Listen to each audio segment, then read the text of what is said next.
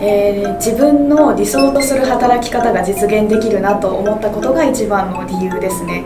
えー、私は軸としていたのがまず東京で働きたいっていうのと、えー、接客の仕事がしたいっていうのと自分のプライベートも大事にできる働き方がしたいと思ってたのでそれを全部叶えられるなと思いました。